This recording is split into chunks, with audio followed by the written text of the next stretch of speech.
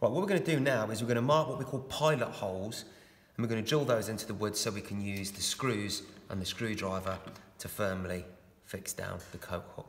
Now, obviously it's uh, a good idea to get your, make sure there's space for your plaque so you can't put it in the middle. But it really doesn't matter, you can put it there, you can put it there, but obviously it's got to be towards the edge so you can fit your plaque in. So, hold it nice and straight, make sure it looks like it's straight to the edge of the wood. And then just hold it down, and then just use your pencil, and then just draw two pencil holes through like that. If the plastic's in the way there, we can just get rid of that, no problem. So you can see you've got two holes there. Now, we don't have to, what we're going to try and do is see how far we drill through. Best not to drill all the way through, just drill about halfway through. So bring it over to the drill. Place it in the clamp like that. And then do it up like that. Use that to line up the hole to make sure it's in the right place. Like that, and that's pretty good. Close the guard. The green button's around here, and then we've also got a foot switch on the floor with this drill.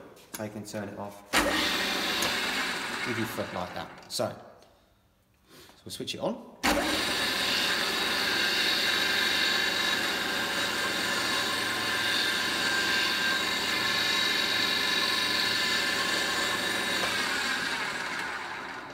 And then just slide it towards you and it should be in line with the other hole.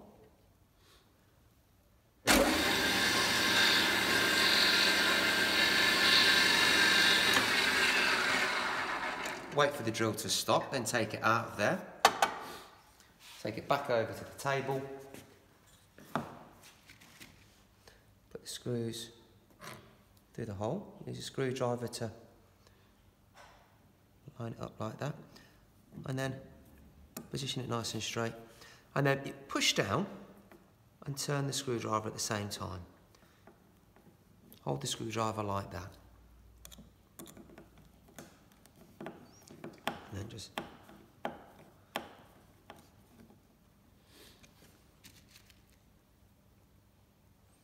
then put the other screw in the other hole.